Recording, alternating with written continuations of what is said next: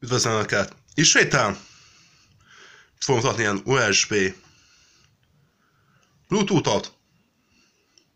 Lehetett venni ilyen kínai boltba, mennyire is lesz jó, vagy pedig a átverés fog lenni. Mi is jó ez, mikre lehet fel, még lehet még mai napig felhasználni.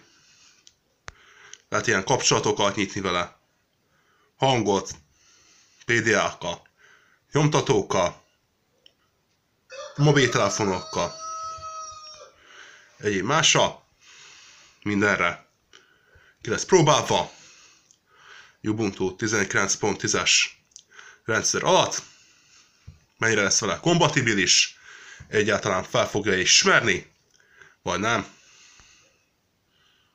Lesz erővel? Másik fele neki. Itt van mivel kompatibilis. Ennyi volna. Köszönöm a figyelmeteket, szevasztok!